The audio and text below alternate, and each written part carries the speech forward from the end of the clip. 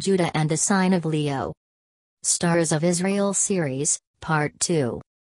Having ascertained that God has set the stars for signs and that the 12 signs of the zodiac represent tilde underscore 12 tribes of Israel, let us proceed to the individual TR11R and DV Alensons. We are not taking the signs in sequence but rather basing our remarks upon the order of Israel's encampment in the wilderness. This account is given in Num 2, and as you read it, you will find that three tribes are Loka. Ted on each of the four sides of the tabernacle. Further, more, every man was to pitch or camp by his own standard. With the ensign of his father's house.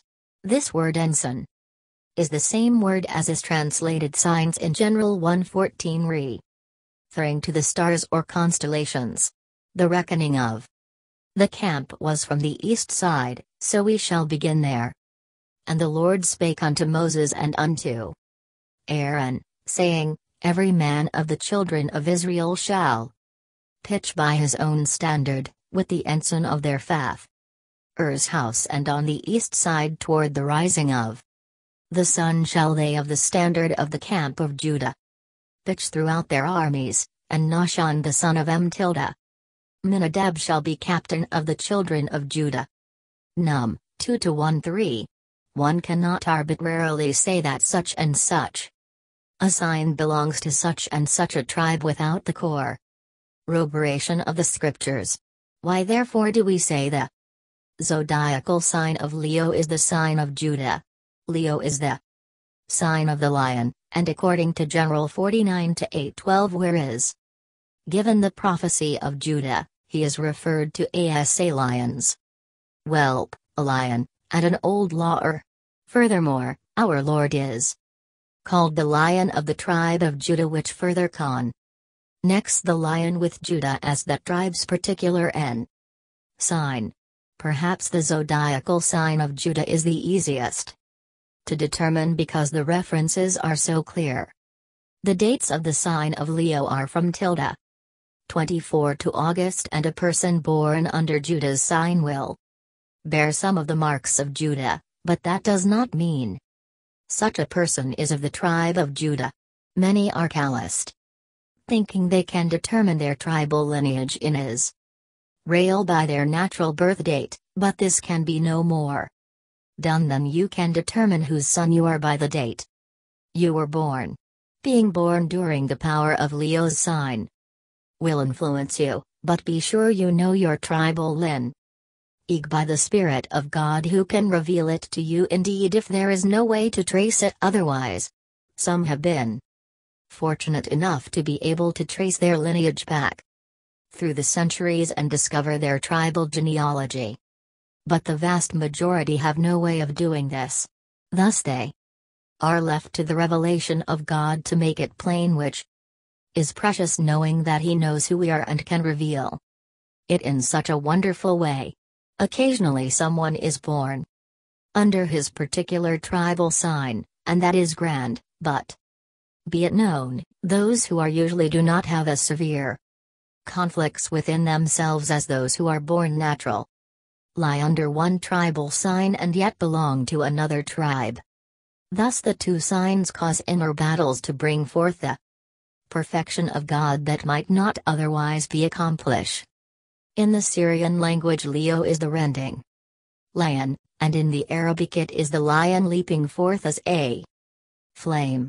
So even the ancient languages bear out the truth. Concerning Leo the lion.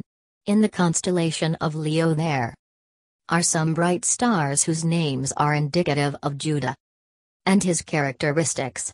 These we want to briefly consider. Er. 1. Regulus, one bright star, means tread. ing underfoot. This speaks of conquering, and Judahites are a conquering people, but they cannot conquer nor tread underfoot without the battles.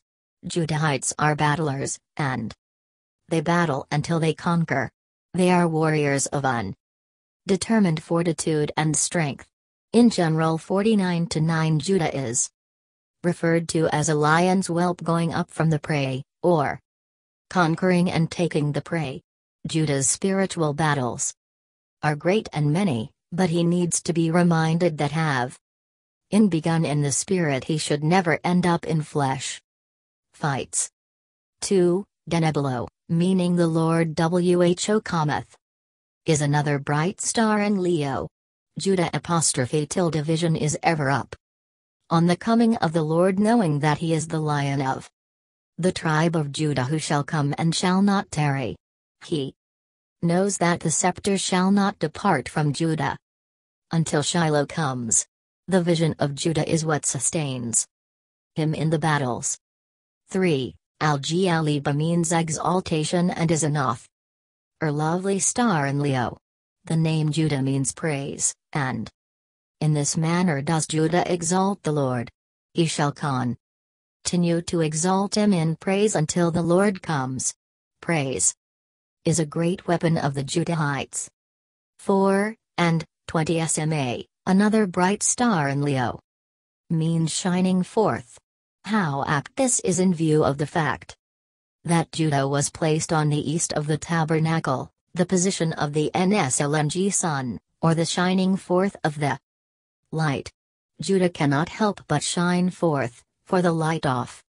The breaking day fills him, and though battles are his low, still the light of revelation thrills the inner being with glory. In these four bright stars of Leo we can some of the characteristics of Judah. Let us compile them. In one sentence thus, Judah, the warrior, fights because his vision is fixed upon the coming of the Lord whom he ex alts in praise while the light of revelation shines forth. Isn't that precious? There are three constellations associated with Leo, and they also are indicative of Judah's traits. They give a picture of Judah's enemy and the conflict that ensues. 1. Hydra meaning the abhorred serpent. Jew. Das battle is not against flesh and blood but against the serpent, the deceiver. He sees deception perhaps quicker than others, and he recognizes what is back of it. 2. Crater, another constellation associated with Leo, means the cup of wrath outpoured. Judahites are not satisfied with a simple battle without meaning, rather. They must fight until the cup of wrath is outpoured, which, in its outpouring, destroys the evil but not the people in whom the evil is found. If there is one thing Judah can not stand, it is unrighteousness with inequality, and Judah will fight this tooth and toenail, until the wrath outpoured burns out such things.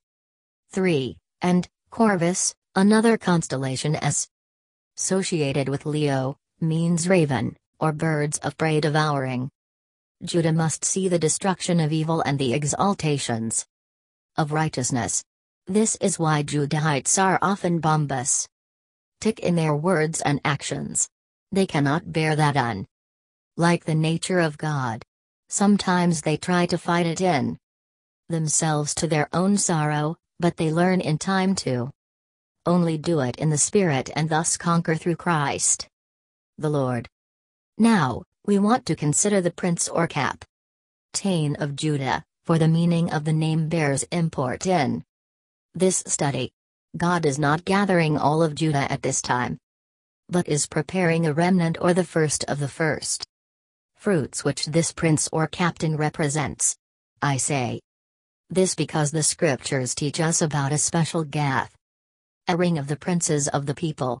The Lord told Moses to make silver trumpets for a specific purpose, such as the journeying of the camps, the going forth to battle, etc. But, one thing was specifically given that when one trumpet sounded, the princes were to gather themselves on to Moses to receive whatsoever instruction the Lord had to impart to them. We are in that time of the sounding of a single trumpet, which trumpet speaks of a fresh revelation. And this is not to be given forth generally to all of his rail but to specially prepared vessels, the princes or cap taints of God's people. Thus these princes represent the first of the first fruits who are to be gathered together unto him for further enlightenment. According to Num 1 to 3. The prince of Judah was Nahshon, which means oracle, and he was the son of Amminadab, meaning willing people. In other words, God is not just looking for Judah's warriors at the present moment, but he is preparing those of Judah who in deed shall speak as the oracles of God, or better yet, who shall be the oracles of God. An oracle is never heard until first God speaks, and the princes of Judah are being taught to hold their peace until the voice within speaks.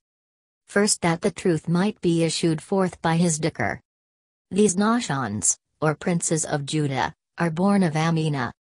Dab, or born out of willingness, a will submitted wholly to the will of God. Such is the nature of the princes of Judah who pitch under the ensign of Leo, and who are full.